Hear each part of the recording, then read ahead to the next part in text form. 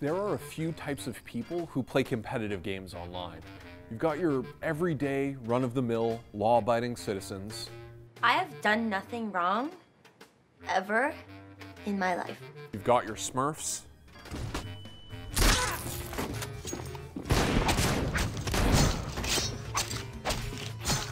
No way. Easy. And you've got the boosted animals. I'm an animal. I'm a boosted animal. I'm a diamond stuck in bronze 5. Boosting isn't a new phenomenon. It's actually been happening since the earliest days of gaming, but recently it's taken on a different meaning. It's not just about solo queue mercenaries elevating low elo plebs. It's about the insecurities created by matchmaking systems that push people down that dark and pitiful path. Fucking. Boosting is pretty easy to understand on the surface. It refers to someone getting a better player to play on their account in a competitive game in order to increase their online rank, or boost it. This often leads to really terrible players messing up your game by being in way too high a rank for their actual skill. Yeah, I don't know, man. This this Lee is maybe boosted. But elo boosting didn't start with high level League of Legends players taking you to plat.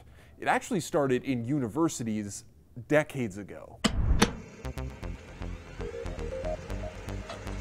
Boosting goes as far back as 1979 in the game Avatar, a thrilling multi user dungeon that supported a whopping 40 players at a time, which is actually a pretty crazy number considering it was an era where Sony had just released the first Walkman, Asteroids was considered the greatest game ever made, and everybody was unironically in love with Rod Stewart.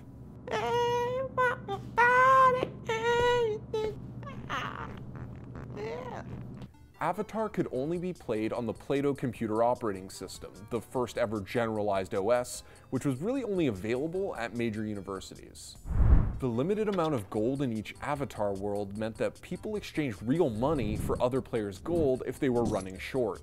Meanwhile, the severe punishments for dying in game meant that some players found it easier to just buy a high level character off another player if they lost theirs, or wanted to get started playing with friends. Of course, that's still a far cry from what we've got today. In the late 90s, real money trading returned with MMOs like Ultima Online, which was also one of the first games to enable gold farming. I love gold. By the time World of Warcraft came out in 2004, an entire industry sprouted up around gold farming, the hottest new form of real money trading. People in China were literally working 84 hour weeks in what basically amounted to WoW sweatshops. There's no sweatshop. No. Excuse me. I gotta go to the can. In time, gold farming evolved into power leveling, but as WoW started to lose traction, the RMT market needed a new target. And with the rise of MOBAs, tied to the rapid growth of League of Legends in the early 2010s, power leveling became known as boosting. Boosting can take a couple of forms. You can hand the keys to your account over to another player and let them just win for you. But this approach requires faith that the person boosting your account is going to behave better than your average League of Legends ranked player.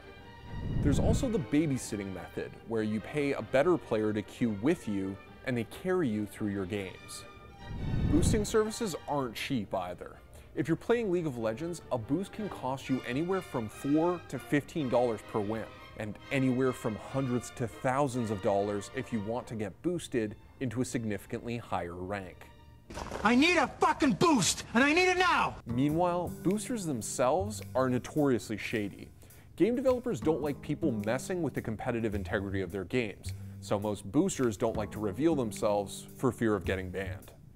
On the other hand, there are some players who revel in being the outlaw.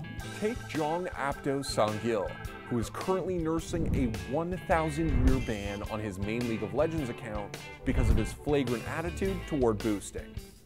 Apdo was so good at the game that many compared him to the greatest players of all time, but the ban killed both his boosting and his competitive careers.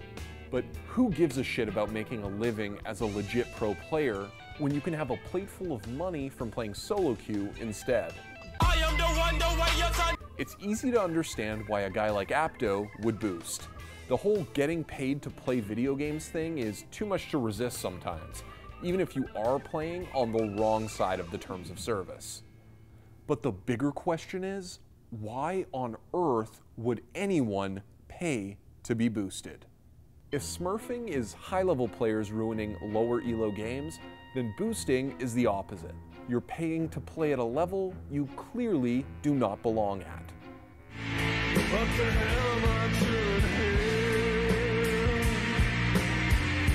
To better understand, we spoke to a few boosters, including an old Halo 3 player who used to boost people to 50.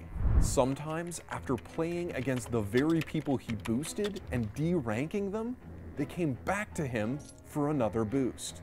I submit that you are illogical. For a lot of people, boosting stems from wanting a reward. Plenty of games offer rewards for hitting certain ranks, and the vast majority of boosters are paid to get lesser skilled players the exclusive skins. But those guys who come back for another boost after getting beaten by their own booster, they're a special case. As it turns out, we have one of these special cases in our office, an admitted boostee, and he provided insight into his shameful secret as long as his identity remained protected.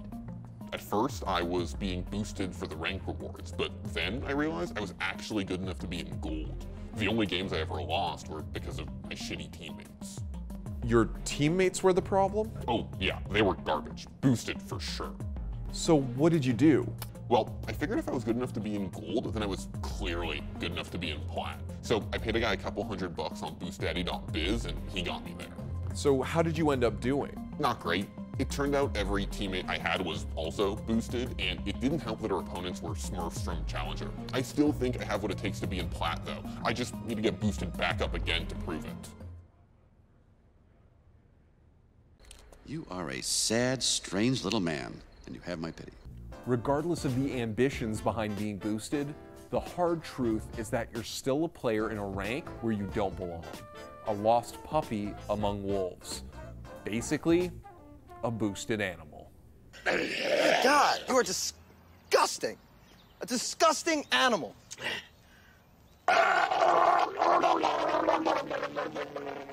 See, even though boosting is relatively common, it's pretty much always against the terms of service of every single game out there. So most players aren't exactly kind to boosters. Are You guys, is this a, are you like a cheater and a boosted duo right now? Is that what's going on? Just play. No, no, no, Booyah, Booyah, I think we have a cheater on our team. I think Secret is a cheater. And, and Secret? Pig, Pig is Pig is the, is getting boosted. Look at the look at their SR. He was What? gold. He was gold and silver. Uh, I kind of want to throw the game. If people find out you've been boosted, you're basically a leper. You're scum. All for either being delusional about your skill or tying your personal worth to an imaginary online ranking. Shame! Shame! Shame!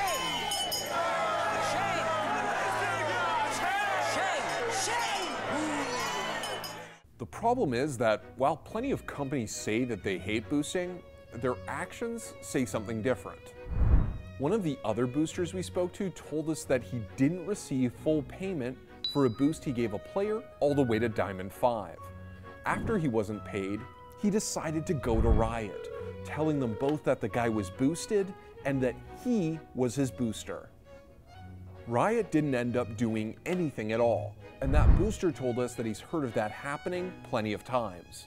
Those people, Pete, those people up there, the rich and the powerful, they do whatever they want. Guys like us, you and me, they don't care about us. There it is, boosting. A frowned upon act that started in the 70s but continues all the way to today, bringing downtrodden but paying bronze players to places they just don't belong. If I could say one thing to anyone, it's that being boosted is being misunderstood, and you really shouldn't knock it till you try it. Well, thanks again for your time. We appreciate your insight. No problem. You're sure no one's going to know it's me? Your secret is safe with us. Boost is that shitty drink that people drink as a supplement, right? Do you want to talk about shitty drinks and the shittiest drink known as Orbitz? Do you remember? Orbitz, Orbitz? Delicious. How? Just gelatin. Orbitz? Orbitz is like the most fucking late 90s thing you could think of. Yo, it was a precursor to bubble tea. Get the fuck out of here. That's just like a random theory.